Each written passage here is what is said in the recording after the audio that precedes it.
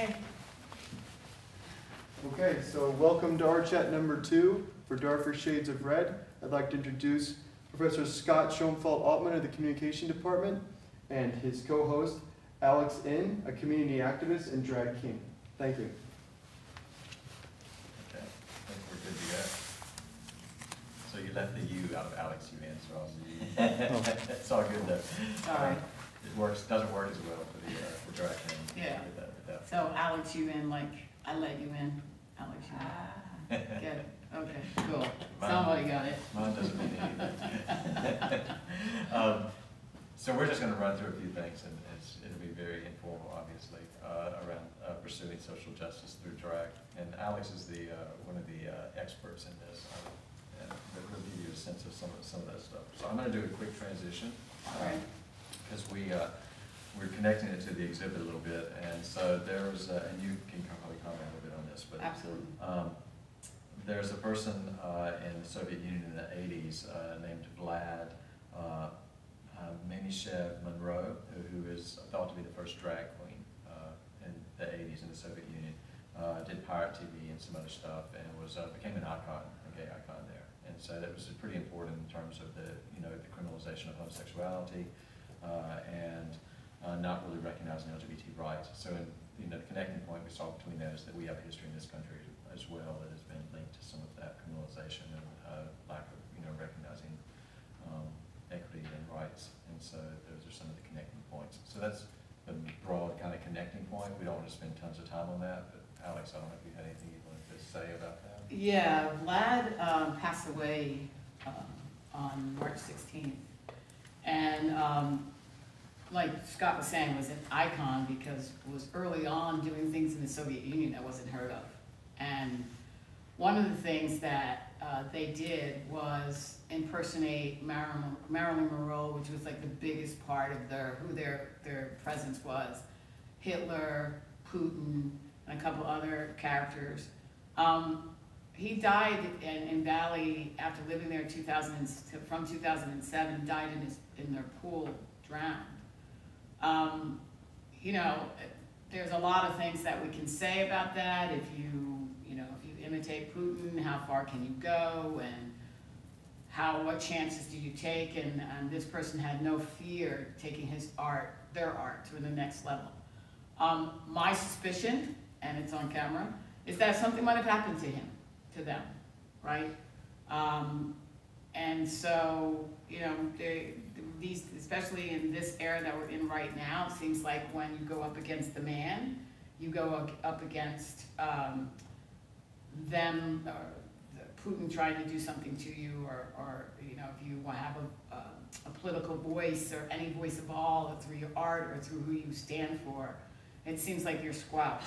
You're, that, that voice is squashed. And so my fear for him is that he was killed, but I'm hoping that it was an accident.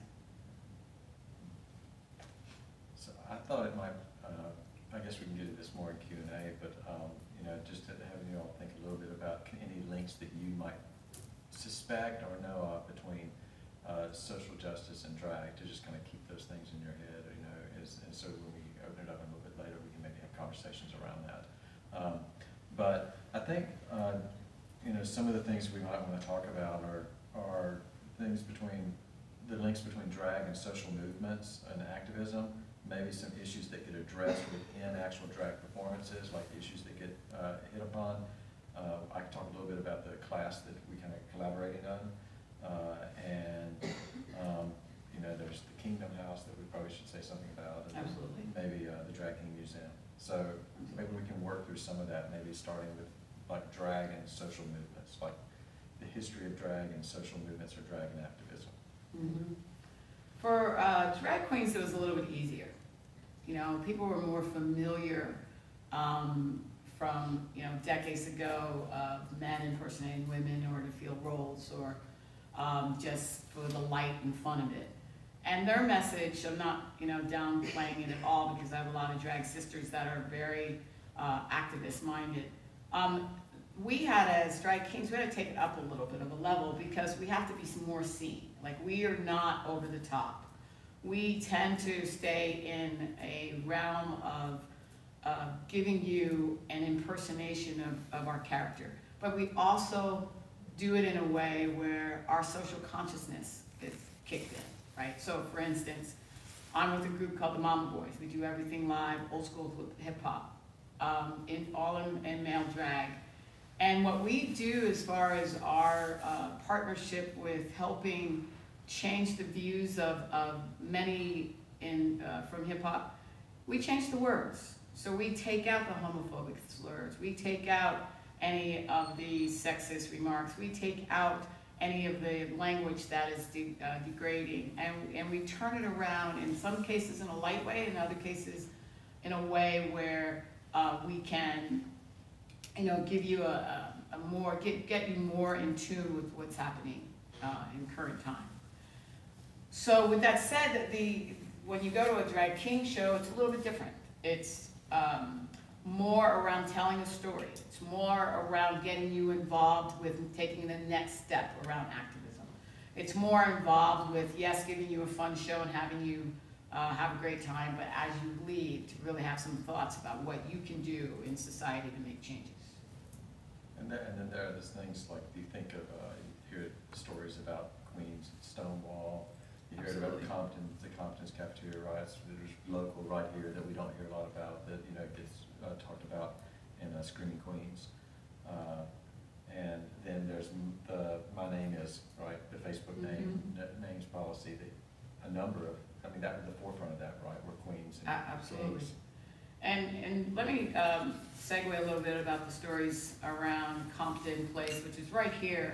You know, it's the cafeteria was right on the corner of Taylor and Turk here in San, or there in San Francisco. And uh, recently, last summer, it was named Compton Place, the street, Turk Street, that part of Turk Street, and Taylor was named Compton Place. But, you know, the, the Queens would, they had their clubs and they would get out. And some of them were trans folks as well, and they would get out of the clubs and this was a twenty-four hour cafeteria and they would go in and congregate afterwards and have a great time and, and they were constantly, constantly harassed going there or harassed inside. And, and generally by plainclothes police officers, by, you know, in uniform police officers, by the patrons themselves, and in some cases by um, wait staff that didn't know them. And eventually, as anything, when somebody's tick, tick, ticking you and bugging you, it boils up and you say enough, right? Um, and finally, they said enough and they fought back. And that became uh, a riot. It was in the streets for days. It became the symbol of our change here in the Bay Area. And the Queens were leading that, and uh, some drag kings as well that um, were living their authentic lives in drag. Uh, as far as Stonewall, very similar story, different part of the 60s and 70s, 60s. Um, but the same, same issues, the same um, demeaning of, of your choices. And they said enough as well, and those riots happened, and that took it in the street, and they battled the police officers as well. And so for those of you that didn't know this, that history, it became our symbols. It also happened in Philadelphia, the same thing, where we were tired and uh, exhausted from having to hide who we are and wanting to be our authentic selves, especially through our art or our choices. And that happened as well. And so there's another plaque in Sam, in, uh, in Philly that I, that um, gives you the information on that, and that's right down by Constitution Hall. Um, and so, fast forwarding, we have social media. So Facebook took it upon themselves through, uh, I call them informers, but they call them um, active uh, community workers, whatever the hell they call them, who give you information. They go out on your site and they go, oh, I don't like that picture, so they'll they'll um, put it in the uh, uh, spam box, and so or they'll report you, and that goes to a different department, and that department then will take you down for seven to ten days until you give them what they want. Well, we were targeting as a queer community, we were targeted as the drag queen and king community, we were targeted as the African American community, we were targeted at the Native people community, and every time a date that would come up, like Juneteenth, or Pride, or Indigenous Day, or anything like that, our names were being taken off and we were disappearing. And we said enough. So it started with the drag queens and kings, and we started boycotting Facebook. We started uh, having protests at their sites. We had, we started um, really uh, setting the charge around the world that this is not okay. We should be able to be our authentic selves, and we should be able to choose whatever name we want. Um, my name was taken down, Alex U. Inn. Uh, Sister Roma was taken down, and she's pretty prolific in the, in the Queen uh, arena, arena around the world. Um, and others, with about over a million of us taken down. And so we just said enough. And so with our activism, with the fact that we mobilized folks, with the fact that we were able to get the voice of Facebook, we sat down with everybody but Zuckerman was at our table. Every C-level of Facebook was sitting with us to determine what the next steps are together. And what we said to them was four or five demands, but our highest demands was we should be able to have our authentic name, no matter what it is. Their pushback was around security. You know, they were like, you know, there's so many things that are happening and, and people are absorbing other people's names and they're doing really awful things and they're bad actors and we're trying to eliminate that. And we're like, what can we do then to show you that one, we've been on the site for six or seven, eight years. I had been on six years at that time, and Sister Roma had been on seven. Um, what can we do? You know, it's like we have, I have 5,000 friends, and so did she. So doesn't that show you that I'm not a bad actor? And why can't we have some sort of um, defining points that allow us to be our authentic selves? Fast forwarding months later, and one protest right down in, front of them uh, that went worldwide they didn't like that very much, but we had to make a change because they weren't moving fast enough, so we had to do that. They sat us at the table that day and came up with some plans. They also, prior to that, uh, did a, um, a press conference in the front steps of City Hall saying, we agree and we will do X, Y, and Z. And so, um, with those kind of pushbacks, with utilizing um, where it hurts them in their pocket, which was the advertisement. If we're not online, you're not getting advertising dollars. You know, nothing's getting pushed towards you. Um, they started uh, associating with us. That was three years ago. And we still have meetings with them where we, we talk to them about their policy and sustaining their policy. Uh, we haven't had a meeting in a while because uh, of what's going on in general with their business, um, with all the world, world uh, attacks that are happening through Facebook. I'm sure all of you are aware today what went down around them um, being sued. Um, and so there's, uh, there's alliance between this gener, uh, this administration, the Trump administration, and uh, this organization that gathers data through Facebook, doing it illegally, so that's in the press today. Um, so with all that other bigger stuff, we haven't been able to uh, solidify a meeting. But the fact that they have come to talk to us and they want to sit down and make it better, it was a big plus for us and a big win. Uh, So that's some of the stuff that you're talking, you know, you can think about in terms of like uh, the activism and driving the streets, right, in the streets and boots on the ground, that kind of Boots on the ground. What about when you've got like, um, within the performative space? Mm-hmm. Uh, what are the things, some of the like, some of the issues, um, that like you've seen addressed in terms of, that either y'all have addressed or other folks that you see are addressing? And then, um, and I know there have been minor issues around gender and sexuality and, and some of that, some of the, the social issues like BLM and things like that. Mhm. And then some of the ways in the performative space that you're able to address those issues uh, through either the performance or like gear and things like that. Mhm. Um, yes, and I'll start from earlier part of your comment. The, the reason why, we have a group called Kingdom, and it's a house, and then for those of you who don't know, um, drag is a family, and because we are in the art together, and we find it tough sometimes because people come up against us and, and, um, heckle, heckle us in the streets and things like that, we are a family, so then that unity of a family is supportive and, and, and one that we know that we have somebody having our back. With that said, we were losing presence as people of, of King of Colors in the Bay Area and abroad. And I was sort of getting tired of that. I was sort of getting tired of the drag queens having all the venues and they only pick, every so often, they'll pick a drag king just to be politically correct, to be on their stage with them. not dissing my queen sisters, but it be, it was one of those unconscious biases that they didn't realize. Whether it was an unconscious bias around the fact that they didn't, you know, associate with kings or kings of color. Because most of the kings that they would pick were, were um, Caucasian descent kings. Well, I decided that I was gonna start my own house. And I started uh, socializing it with other king brothers. And they agreed that we, as people of color, who are drag kings, need to be represented and need to have our own space and need to have our uh, activism heard. And so we started a house called Kingdom. And I'm proud to say that uh, to this day we have 26 kings in our house. Um, and, and they go in and out of performing all the time, so we don't always have 25 kings on, on the stage at one time. But we do have anywhere from 10 to 15 kings on the stage at our house. We try to keep it around 10 to 12 so it doesn't get too crazy. With, with that said, we um, started this with the idea that it would be focused on kings of color. And so out of our 25, 26 kings, we have three non-POC kings.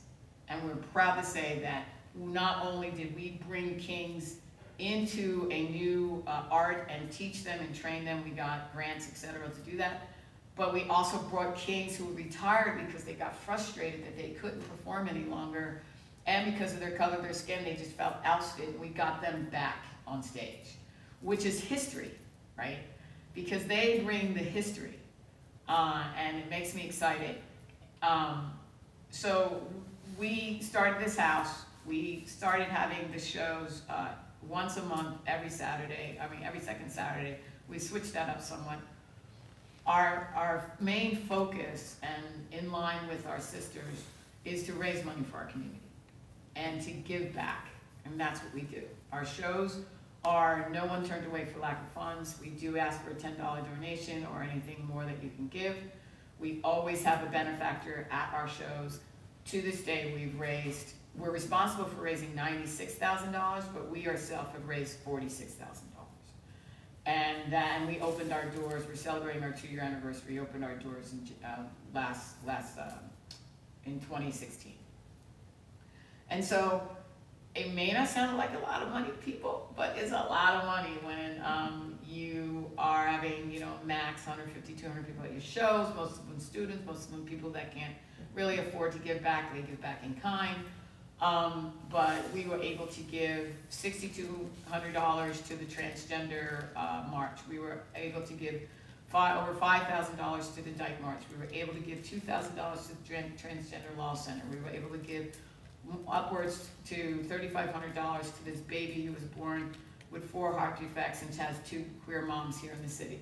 And, so, you know, those are the, of, of the organizations, and we've given to twelve altogether. So those are the organs, some of the organizations that are mentioned. And, and so Kingdom is not, not only known as an incredible performance art house, but it's also known as a house that gives. And so because of this as well, the sisters granted me as the founder an honorary sainthood, which is uh, only given to few, and uh, and they gave it to me uh, for the House of Kingdom. And then uh, I've also won three years in a row now uh, the best of the drag kings, so it's called the Best of Bay Best Drag King Award. So, and that's for all our work that we've been doing. So I'm just the face, you know, of all our work, but we have many, many, many more of us, and we hope to keep the art of king alive, you know. So you'll, you'll, you're oftentimes like wearing a hat or wearing a shirt, you know, or a button or something like in a show, if you're not, like if the performance itself doesn't do something, uh, you know, that says something adamant, you know, or clearly, you might have a shirt that says Black Lives Matter or something like that. So Absolutely. that political message kind of comes through. You know, you do it with the lyrics you're talking about as well. So these are some of the things that you'll see in drag, right? that- Absolutely. In terms of, or signs that'll be held. I've seen people write on their bodies, That's you right. know, with markers, or have the audience write on their bodies. Absolutely. Things like that, that kind of Yeah, hit we, those issues as well. And, and that's a good, a good point, because we do, um, you know, send messages, like Scott was saying, through our clothing, through our performances, through our movements, through bringing people up and speaking, having, um, um, activists join us on stage and talk about what's going on and what's going down, to be able to remind people that we need your feet in the street and things like that.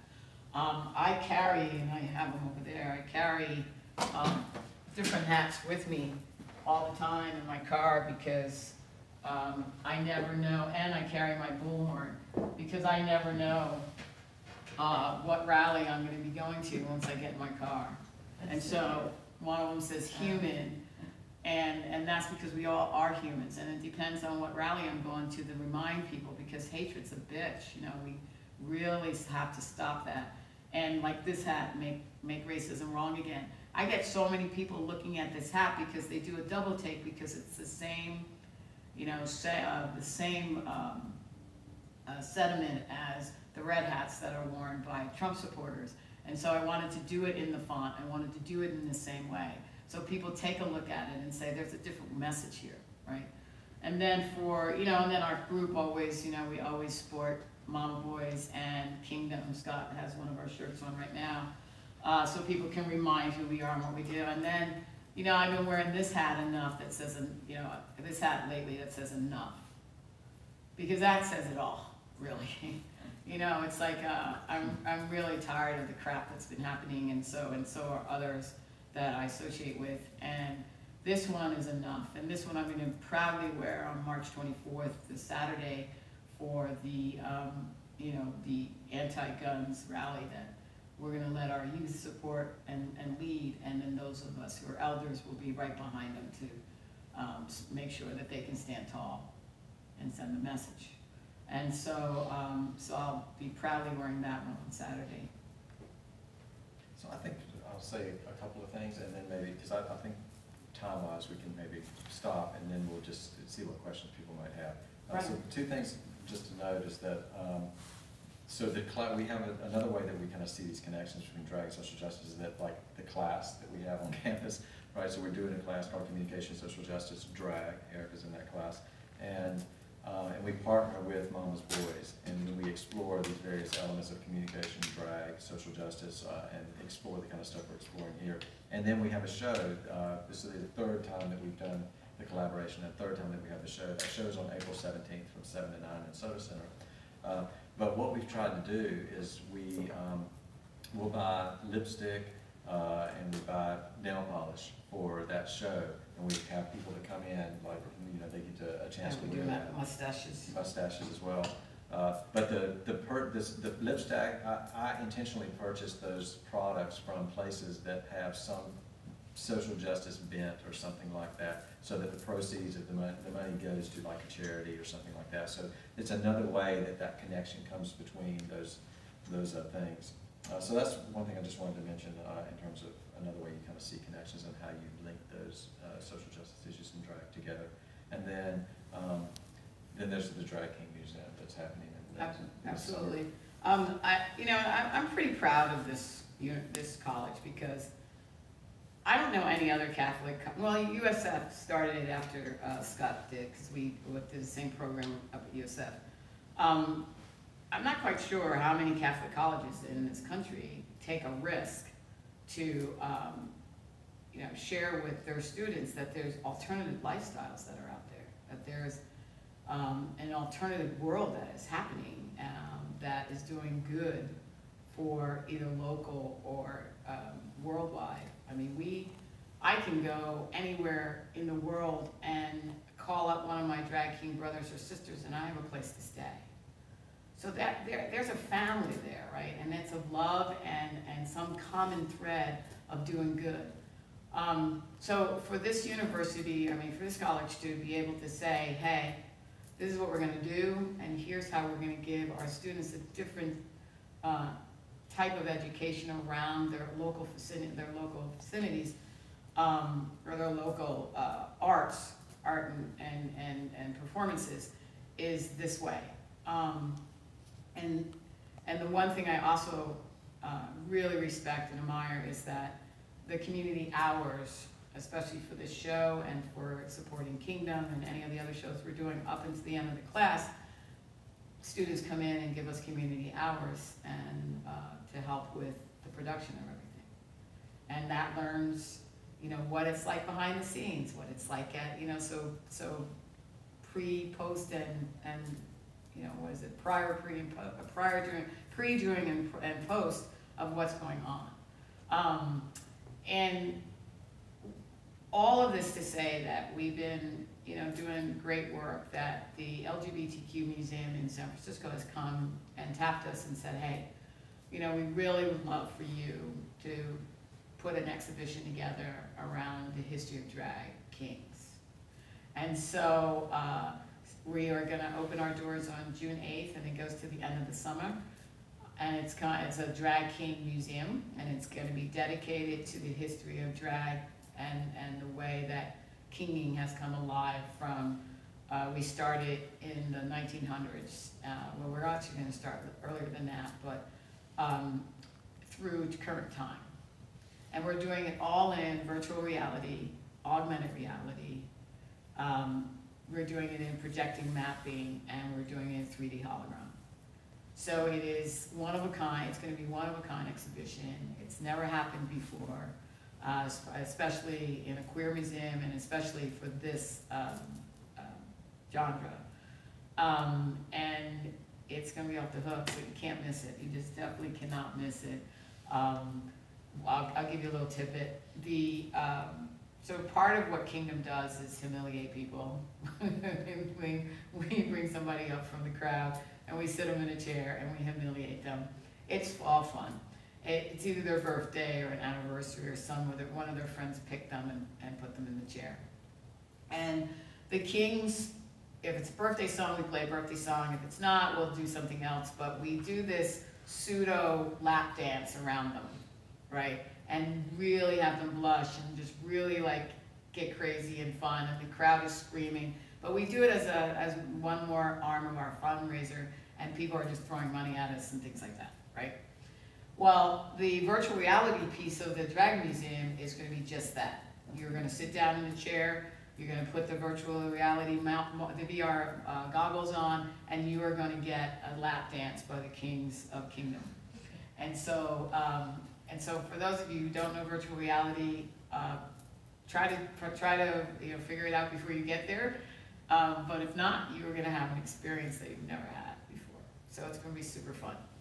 And then the uh, projection mapping is going to be around the history. Uh, we did 1920s, 1940s, 1960s, 1980s, and present time um, of kings in wearing that uh, of the time, telling the story of what happened there.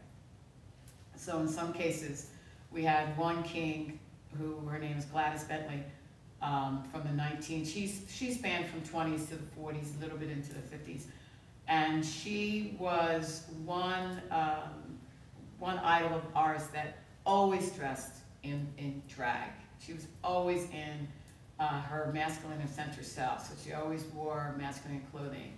Um, she was an incredible artist as far as uh, a musician and a vocalist, and she couldn't do any. She could not. There was nothing that passed her that she couldn't do. She played piano incredibly. Um, she got her opportunity of really uh, getting into uh, performing uh, as because she imitated a guy and went for an audition, and they needed a guy piano player in the 20s, and she got the part. And then people started gravitating towards her, and then she became her own art and her own act. And so she's one of the folks that we are highlighting in the museum as well. And so part of the projected mapping is her story as well. So then it moves to different stories. Is uh, one of the stories in the 40s is when drag kings were presented were uh, protected by the mafia. So we were able to open a couple of clubs, but the mafia ran them you know, and they escorted them to their cars, or they walked them home halfway, or whatever they did, but they were protected, and it seems like a really odd partnership with the mafia taking care of queers, right? Um, and then we had drag queen, drag kings who were not, uh, you know, uh, queer. They were straight women who prefer the art of uh, male impersonation, and they performed at the clubs as well. So. So this is, it's just a little bit of history, what's gonna go on at the museum, but you're gonna go into a virtual world and you will, you will be educated on this. So it'll be fun. So again, that opens the doors June eighth, and it's on Castro Street in, uh, in the Castro. So, questions?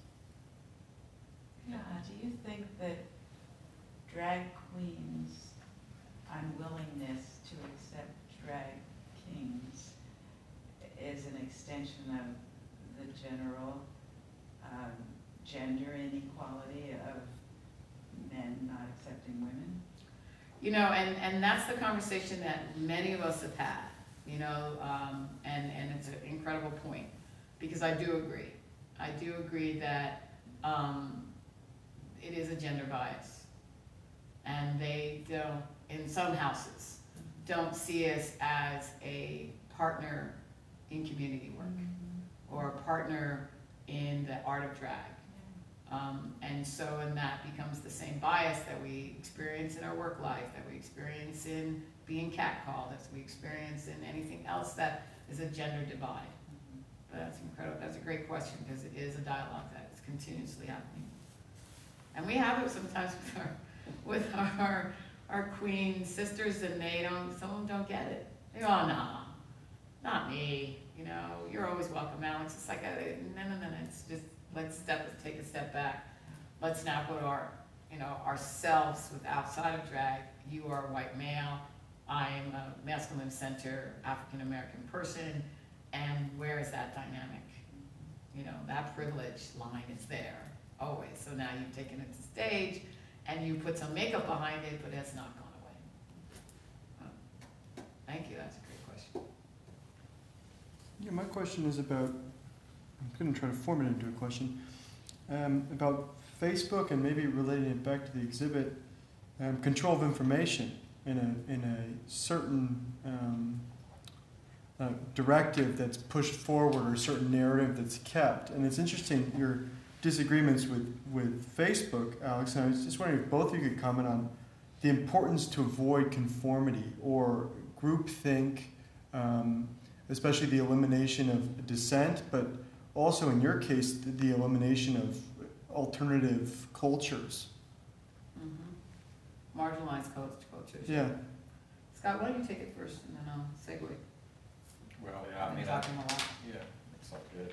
Uh, Yeah, I mean, the, the part about resisting conformity, I think is, in- is important, because, uh, I I mean, part of the reason behind, or part of the things within the course that we're doing is, is an interrogation of gender, sexuality, you know, of kind of, those kind of notions, and, uh, an exploration of those kind of things in terms of like these, uh, kind of heteronormative framings, you know, hegemonic framings of masculinity, of femininity, uh, and because clearly people do not just live in those spaces, people are all, uh, all over those spaces. And so uh, it's basically in a, a way to look at those issues and using drag as kind of the lens through which to look at that. But it's also about looking at, um, you know, uh, whiteness. Uh, I mean, it's not as explicit in some ways, but there are readings on race, right? And so about whiteness, and so we're interrogating, you know, race. Class is coming up in there. So it's all those kind of, you know, mantras of race, class, gender, nation, sexuality, all that stuff gets interrogated within the context of that.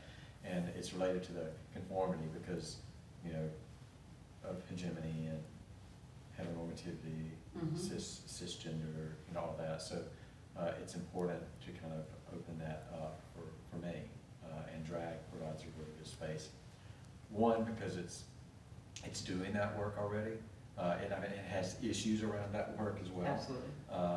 But it's also a topic of interest. Uh, you know, it gets students in the doors as well because uh, it's interesting. And RuPaul's Drag Race plays into that some, just because of that front. And so people are familiar with drag, but much less with kings. Mhm. Uh, and so that's why it has a, the quick class, class has a king emphasis on it. And if you do the reading in the literature, um, you'll see that um, a lot of king communities, not all of them, but a lot of king communities and king groups tend to be like feminist identified um, in particular ways. Uh, and so they are already, and tend to be education affiliated. So they're, they're in education in some form or capacity, teaching, um, and they're in, they are already interrogating patriarchy and, and heteronormativity and a lot of those kind of frames. And so, I mean, that's why I'd like the king emphasis more. And because, you know, there's less known about kings. So it Mhm. provides an educational, you know, component and a pedagogical challenge in that way. Which is another reason why we partner, you know, with Momma's Boyz, is to provide that hands-on experience, uh, you know, so. Yeah. Yeah, um, just one more thing on that is the, the whole Facebook, um, issue set up a lot of, um, other issues within our community of drag. Because even though drag kings were fighting in the background as well and trying to get Facebook's attention and, uh, uh, coming together and, and in, in organizing the protests and the boycotts. Um, where the media went was to the drag queens, right? And so the focus went right on our drag queen sisters. And that's because they're more flamboyant, more known. Um, and it goes back to your, your comment around gender. That white male, we're gonna, no matter what, where, what you have on, you still are that white male and we are still to gravitate towards you. Whereas um, on the flip side, the, we are we're indivisible anyway, so it wasn't that much of a stretch for them not to reach out to us for um, you know to do any press releases or, or not press releases, but to do any public speaking around the issues. Um, but when we were in the rooms with the Facebook management, the feminine center and the masculine center lesbians in the room were the ones with the strongest voices. And we are, we were the ones that did our homework. We were the ones that brought forth some research items. We were the ones that would say, uh-uh, no, we're, that's not acceptable. And, uh, and then and gave the courage, uh, the, and encouraged our, our drag sisters to speak up. And so we set that platform for them. Um, but still, the media picked up worldwide. Um, but we did get uh, interviewed by BBC. The Drag Kings got interviewed by BBC, and I was one of them um, because they wanted our voice heard as well. Because some of the things that I was saying was not just around um, the drag names disappearing, but it was about culture. So Black Lives, you know, I'm part of Black Lives Matter, so we got involved in the sense that our black names matter because what was happening, the black names were going away in that um, if you had a hyphen or a dash in your name, or if your name was too long, or whatever it was, they just assumed that was a fake name. So I have a friend who has a hyphen in her name, and that's, she was given that name, it's an African name, given that name, went away. She was taken down. And so one of my fights was around that. It's like, look, this is her birth name, and why must she present papers to prove that that is her name? This is some apartheid shit going on here because we're not living in South Africa. We're not going to do this again. We are not going to show, you, show us our paper to use a tool that everybody and their mother uses. And, uh, and those are the kind of fights that we would get in with them. And finally, um, they started putting the right people on the projects with us that were more like us, uh, that were more like the cultures that we represented, and that were at our level of, of intellect around social media. Finally. And then that's when we started seeing make the major change. So hopefully that, between us, we answered your question. Well, another part of that too, I think, which you indicated was um, conformity in the context of, you know, uh, you know, queer folks means to basically become invisible, Yeah. right? Or it means homonormativity, right? So it makes, it means making, um, you know, folks that are on the margins uh, fit in with the center so that they're no longer frightening. So that's part of the, these are the discourses that come up within the community as well, right? I think in terms of Absolutely. of like, if you're safe and you're safe and you're like, you're kind of like the model of the heteronormative family, then you're palatable, uh, which is, can create division obviously within the community because the people that are not there are gonna be pushed, stay on the margins. Mhm. Uh, And, So- and that's what some of the people that were reporting that fit into those realms, where they were uh, racists and homophobes and et cetera. And they were saying things, when they would report us, they would say things that were, that gave them away, right? This one guy that reported me uh, had, had a picture, and this is what I felt was, was an incredible um, juxtaposition. He, his, his profile picture was him wearing the KKK uniform. And they didn't take him. and they didn't take him down. And when I said something to them about that, and this was online first before we got to the table, because then I brought pictures of this to the table. But when I said something first to them online, uh, saying, uh, excuse me, you're taking my name down because of this. Look at this guy, they were like, and they wrote me back and said, it does not violate our standard, our policy standards. And I still have that. And that gives me energy and power whenever I have to fight them again. Um, yes, and then finally, his, and his name was Bill Murray. So please. How many Bill- Murrays are out there? His name may be Bill Murray, but I think his name was fake as well. So they take him down. You have to get going. No problem. You're welcome. Do you have any questions before you go? Do you, but since I have your number, I feel like I. All right, right on. Thank you so much. See you. Work hard.